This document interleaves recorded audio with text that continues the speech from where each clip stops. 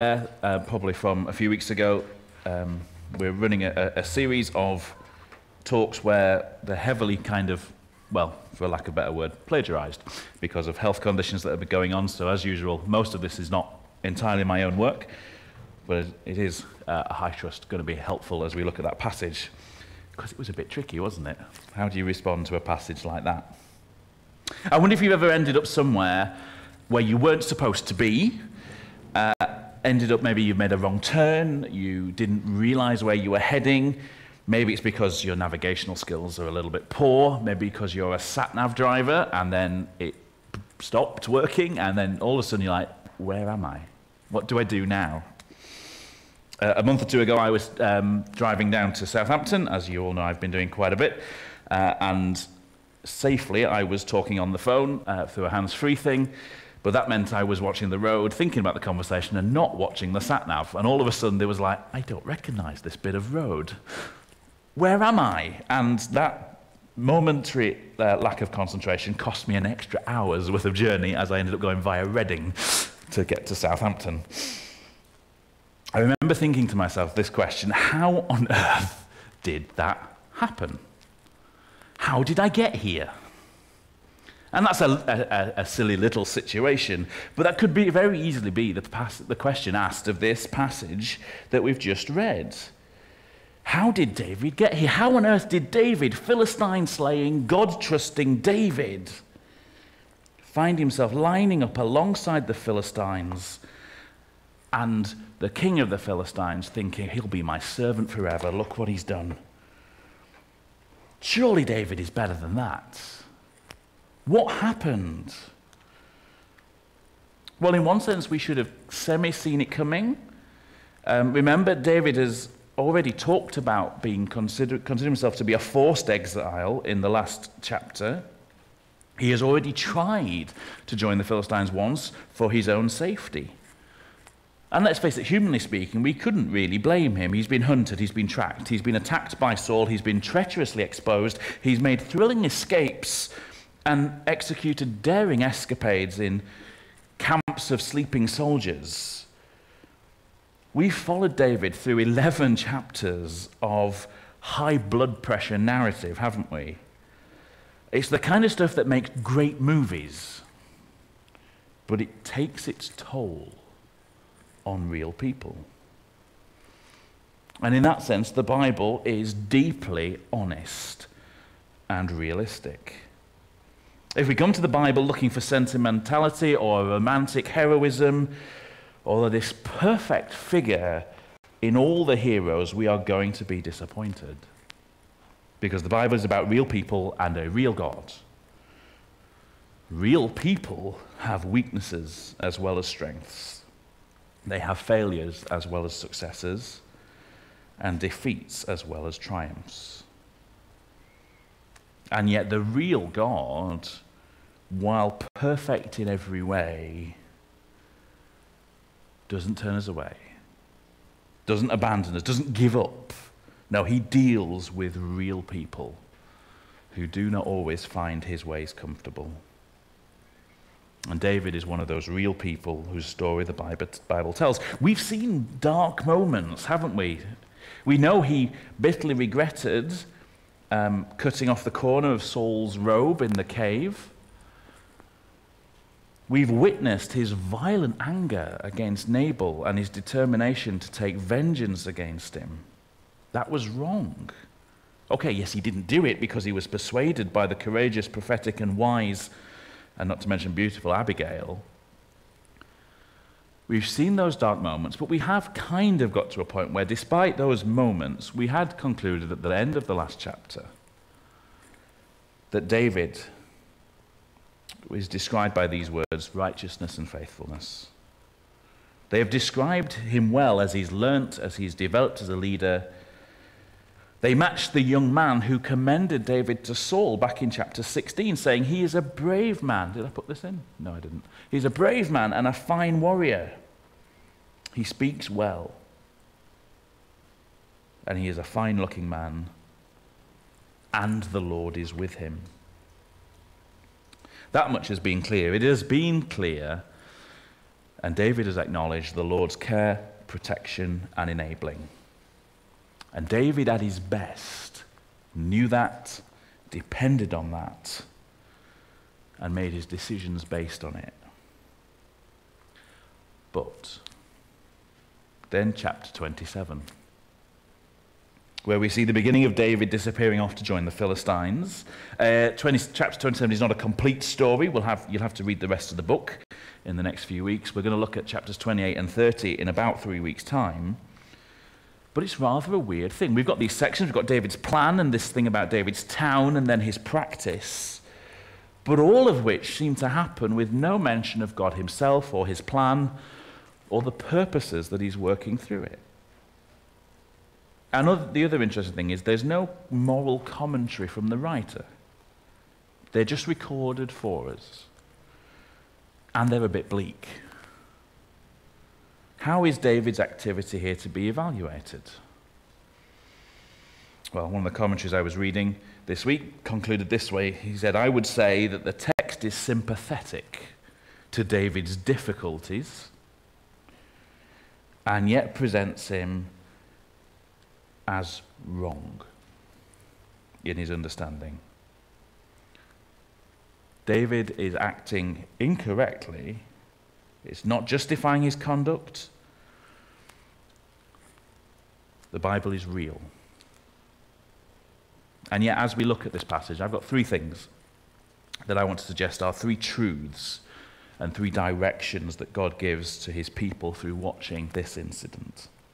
The first of those is this learn to lean on your true security. At the end of chapter 26, we saw one of the high points in the difficult days for David. He's confronted Saul, they've parted ways. And yet we turn into chapter 27, and David's thoughts take a rather unexpected turn. David comes up with a plan from a position of what looks like a fainting faith.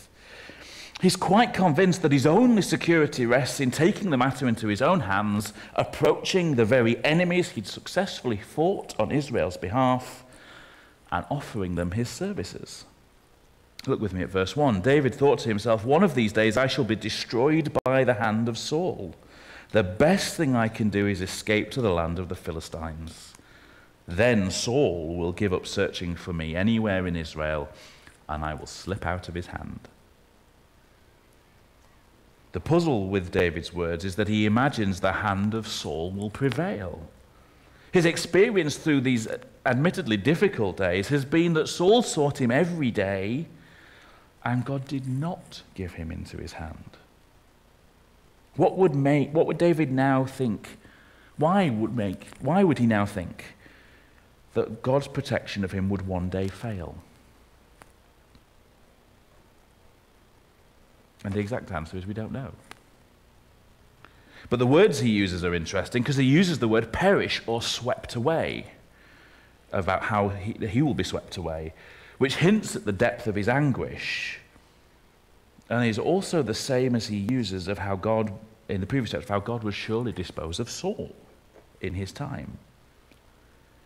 It looks like he's giving up and just letting Saul's evil intentions win.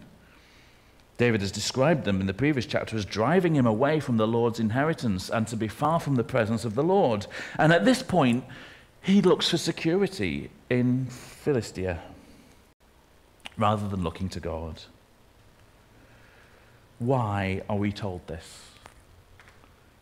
Well, David obviously has this special place in history, and particularly in the history of God's plan of salvation.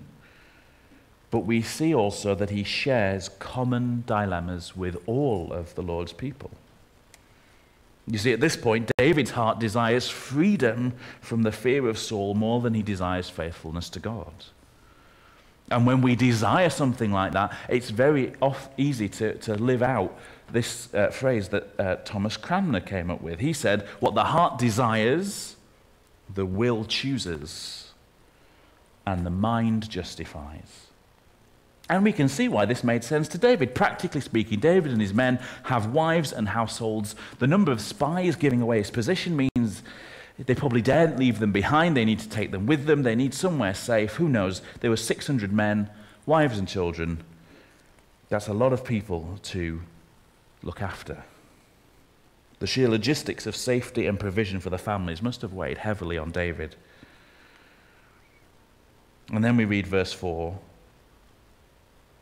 When Saul was told that David had fled to Gath, he no longer searched for him. You see, this practical solution that David's come up has worked. And we could read it as being some kind of validation of David's plan. But David being in Gath is not the faithful result God wanted. David seems to have forgotten God's direct command to him, recorded in chapter 22, to go to the land of Judah. God wanted David to be his man in Judah. But, as we said, David shares common dilemmas that we may even feel. We, not, we might not wrestle with covenant kingship, that we might not be the ki- potential king of God's people, and so us messing up might not look so bad on the stage.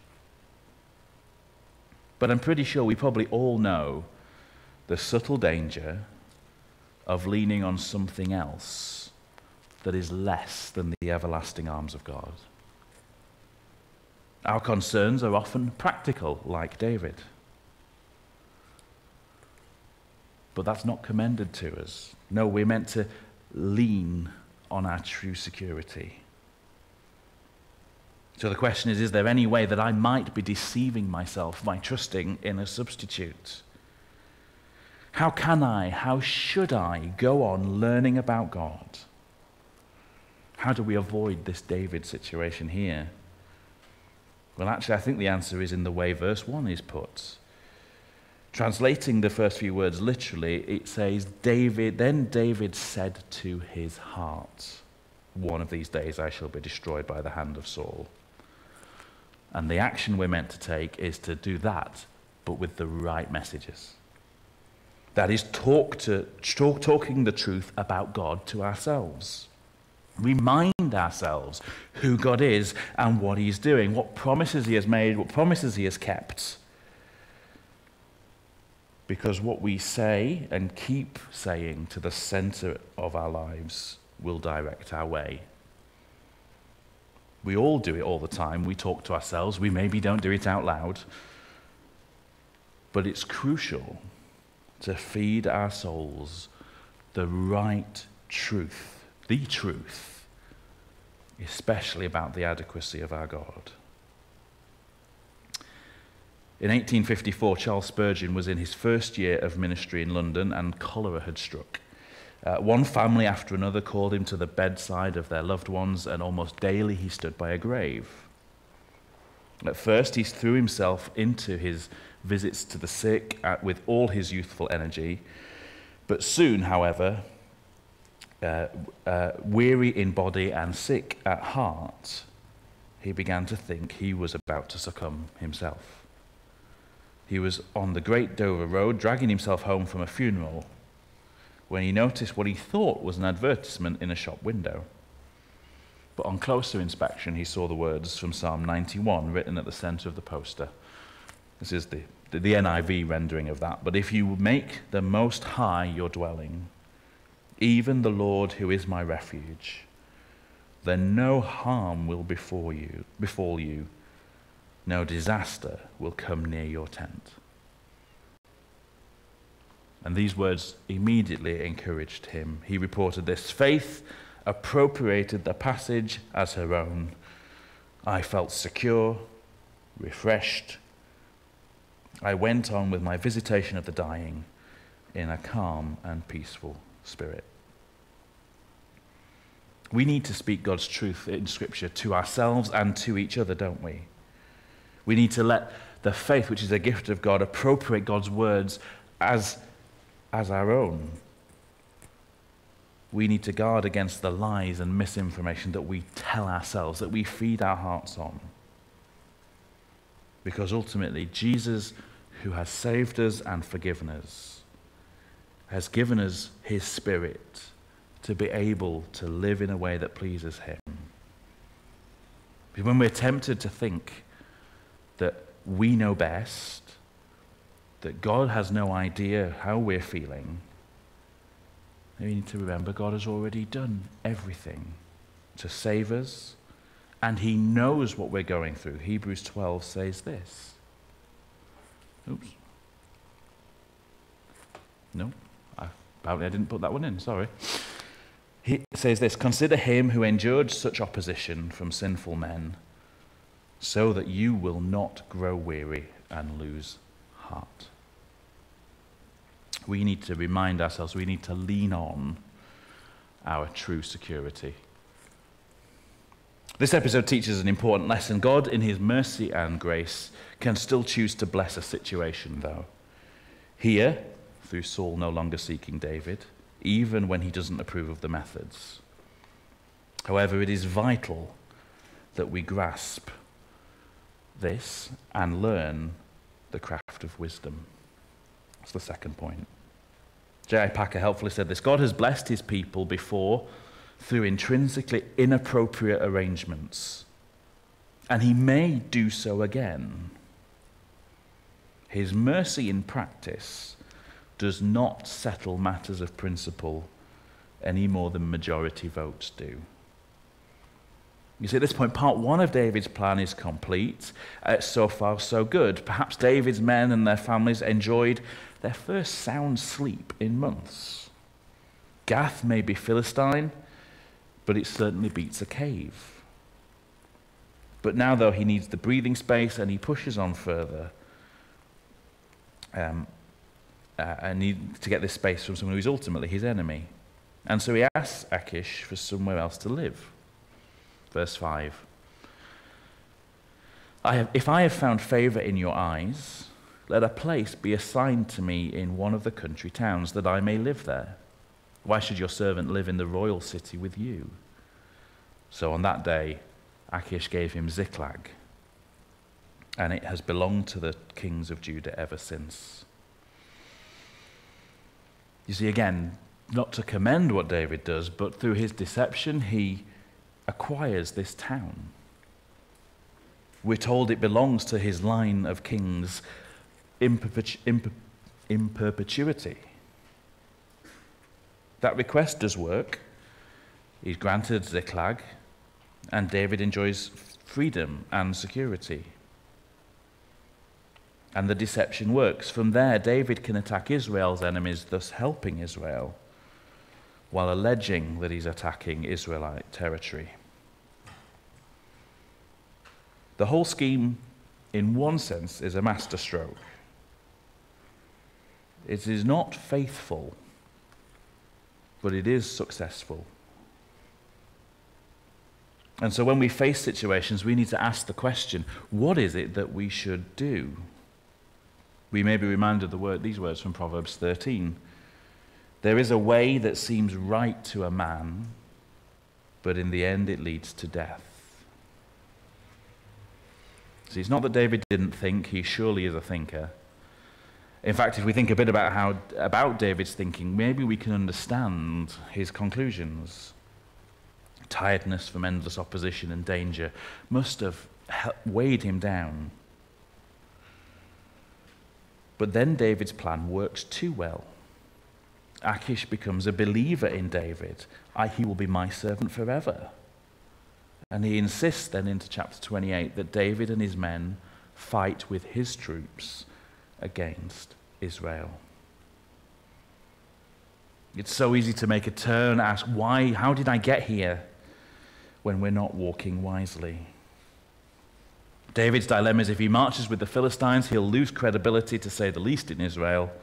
His decision has led him to a point where he is, in one sense, risking his kingship over Israel. Saul may not be so nasty or so damaging in the long run as being dubbed a traitor. And did you wince as we saw how David described himself to Achish? Your servant? But with where he is now, if he, on the other hand, plays false at some point with Achish and the Philistines, well, then he might find that they're more efficient at disposing of him than Saul has been. Trying to avoid taking cheap shots at David, then, because he is in awful positions that probably we can't imagine. we also do need to not ignore the important point of the story. The will of God for us, for his people, includes more than escaping from Saul. No one disputes here the malice of Saul or pretends that escaping him or the last few chapters have been some merry journey. And it's hard to see uh, such difficulties in what we're doing when immediate emergencies loom so large. It's really easy to drop into an if only, isn't it? If only this problem wasn't right now pressing on me, monopolizing my thinking, consuming my energy. If only I could get relief from, I would get on well and I'd be able to do what is better. Well, as I was reading, the recurring phrase that came back was people well, I don't have a magical formula for this. There's nothing obvious, but what we need is the Bible's perspective and principles for facing circumstances. That's why it's the craft of wisdom. So we could think about Proverbs chapter 3, verses 5 and 6. Trust in the Lord with all your heart and lean not on your own understanding. In all your ways acknowledge him, and he will make your path straight. But we need to remember that the text does not say don't use your understanding. But it says, don't lean on it. Lean on the Lord. Use your understanding. Don't lean on your understanding and use the Lord. But there's no instant insight, there's no quick fix. We need to be studying the Word, we need to be depending on our Saviour. And we can remember, too, that our teacher is more patient and merciful than Saul or Achish are. So, to learn the craft of wisdom, we need to read Scripture. We need to listen to Scripture. We need to let faith take its words and apply it to our own situations. So, Jesus says, Come to me, all you who are weary and burdened, and I will give you rest. Take my yoke upon you and learn from me, for I am gentle and humble in heart, and you will find rest for your souls. Isaiah declares this in chapter 40 Do you not know? Have you not heard? The Lord is the everlasting God, the creator of the ends of the earth. He will not grow tired or weary, and his understanding no one can fathom. He gives strength to the weary and increases the power of the weak. Even youths grow tired and weary and young men stumble and fall. But those who hope in the Lord will renew their strength. They will soar on wings like eagles. They will run and not grow weary. They will walk and not be faint. We need to lean on our true security. We need to learn the craft of wisdom. And then, final point, we need to latch on to grace. And there's a warning for these last few verses of the chapter, isn't there? They, they are something that our 21st century uh, sensibilities find hard to read. David is playing a dangerous game in an attempt to make the most of a bad situation. And to his shame, he does so in a brutal and deceitful manner. His practice is ruthless. Verse 8 Now David and his men went up and raided the Geshurites, the, uh, the, the, the Girzites, and the Amalekites. From ancient times, these people had lived in the land extending to Shur and Egypt. Whenever David attacked an area, he did not leave a man or woman alive, but took sheep and cattle, donkeys and camels and clothes. Then he returned to Achish. Now, it's not abundantly clear again from the text what motivates this ruthless butchery. Some see it as David fulfilling what Saul had failed to do. Saul had been tasked by God to destroy the Amalekites for what had been done to Israel on the way out of Egypt. But Saul hadn't followed God's instructions and had spared some. The result, God rejected Saul as king of Israel. But if David is attacking these peoples in order to obey God's command, then he's no more obedient than Saul, because he too fails to follow God's instructions to the letter. He too keeps back livestock and clothing. Some see David's motivation as a bit more opportunistic and pragmatic. David, it's argued, is simply keeping Achish sweet, providing food for his army and their families, protecting Israel and leaving no survivors, not because this is God's command, but because it is the only way he can continue his deception. The fact that David weakens Israel's enemies in the process is merely the added bonus. Whatever the reason is, we definitely see here the Bible is an honest book. Sympathetic though we might be to maybe David's mental health, the writer does not hide how calculating and ruthless David was while he was a Philistine. David the raider is one thing to hear, David the butcher is another.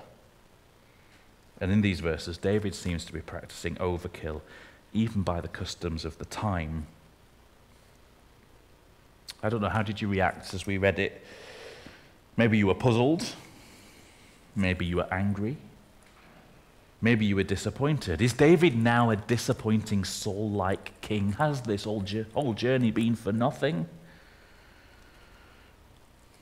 Well, the Bible gives us this because, well, the truth is that most of God's servants will do something disappointing at some time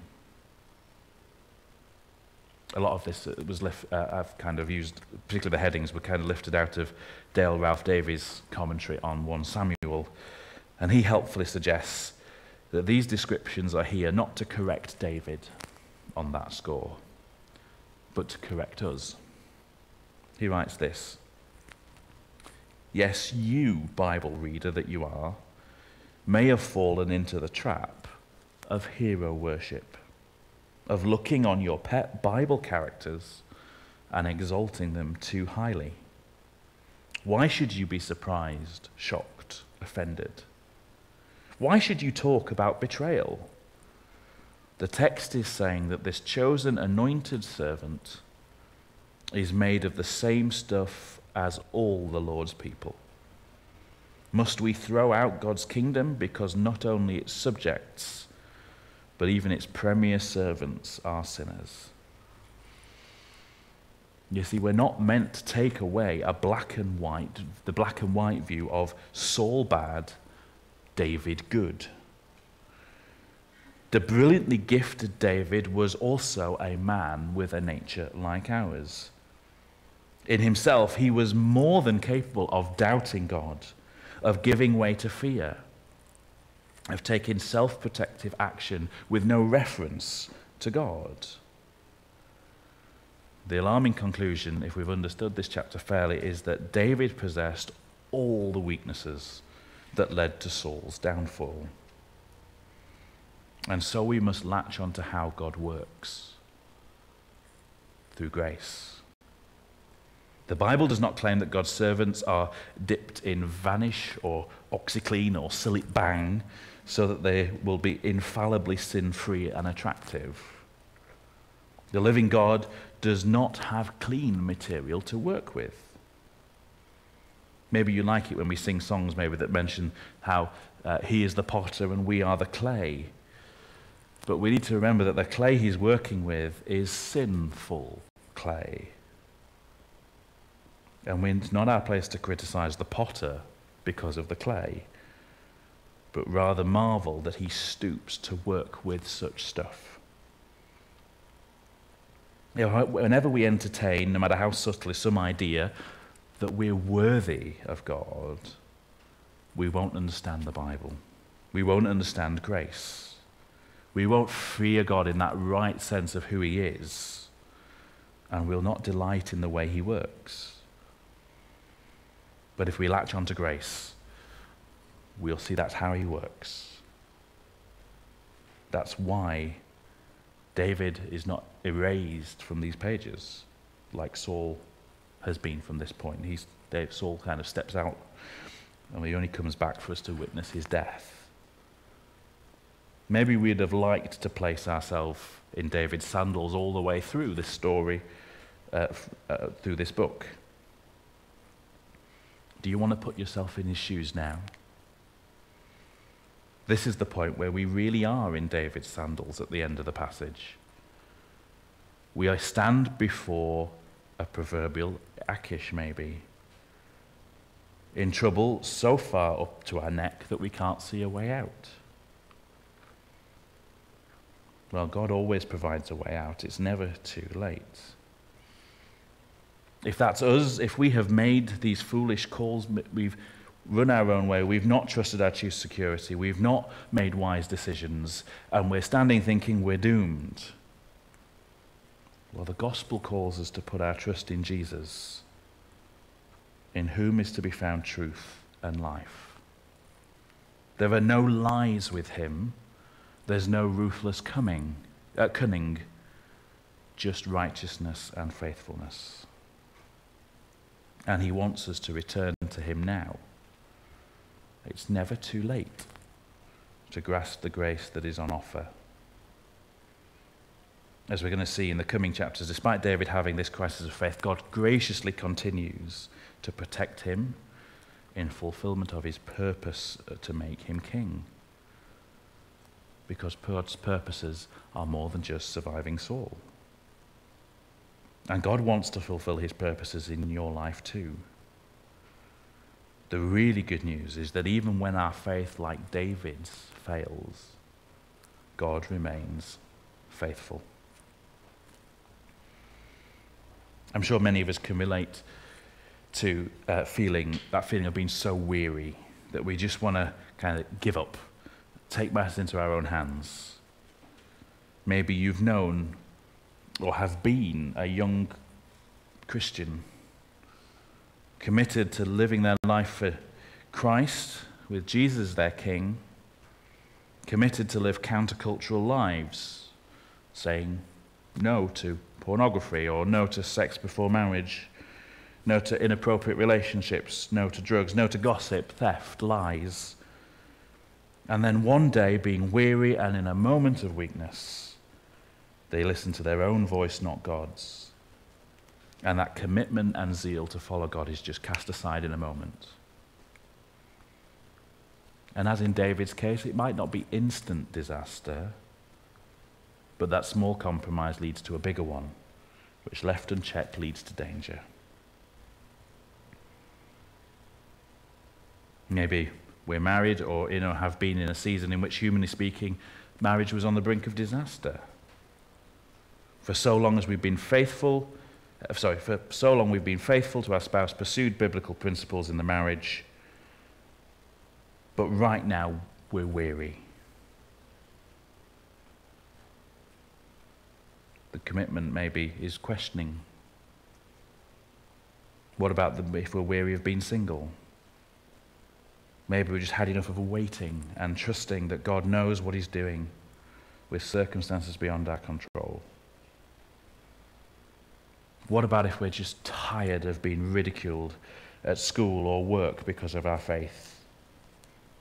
Maybe for so long we've been trying to live for Christ, watching our language, watching our gossip, but right now we're so weary that we just want to fit in. We need to learn from David's mistakes here. We need to lean on our true security. We need to learn the craft of wisdom we need to latch on to grace. Or we'll end up asking, how did I get there? Shall we pray? Heavenly Father, we thank you for the, the brutal honesty of your word, that it shows us uh, who we are and that we're all made of the same stuff, that we don't deserve your favor we don't deserve your grace. And yet, because of your goodness and your mercy, you have sent us a Saviour who has redeemed us, who has brought us back, who has paid our debts and forgiven us. And so, Lord, we pray you'd help us to live as wise people, even when pushed to extremity in our lives. Help us to lean on you, our true security. Help us to learn the craft of wisdom as you teach us by your Spirit through the Word. Help us to latch onto grace, which is the way you work in all things. Amen.